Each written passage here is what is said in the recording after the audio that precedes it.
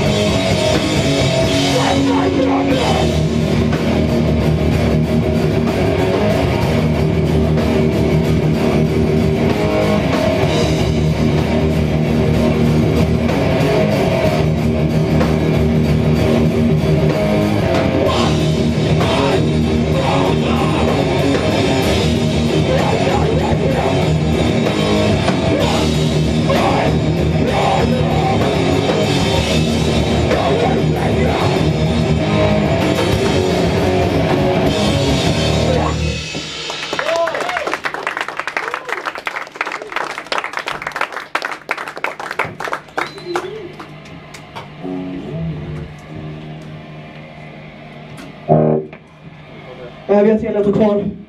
Eh, nästa låt heter Executioner. Eh, det handlar om socialism, det handlar om att vara vänster, det handlar om att göra någonting för att förändra sin omgivning.